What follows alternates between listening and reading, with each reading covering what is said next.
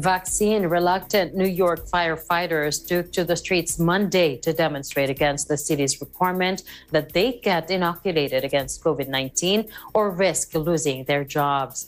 Several thousand municipal workers, mostly firefighters, marched across the Brooklyn Bridge to City Hall in Manhattan carrying placards that read, Do we ask your vaccine status when you call 911? And essential yesterday, unemployed today.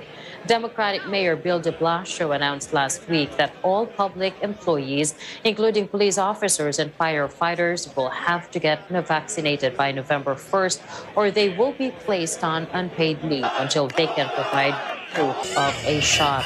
They will not have the option of providing a negative test instead, but medical and religious exemptions will be allowed. As an incentive, New York City employees will receive an extra $500 in their paycheck if they get vaccinated by October 29th. De Blasio's order essentially extended a vaccine mandate for public sector teachers and healthcare workers to cover the city's remaining 160,000 employees, 46,000 of whom had not been inoculated as of last week.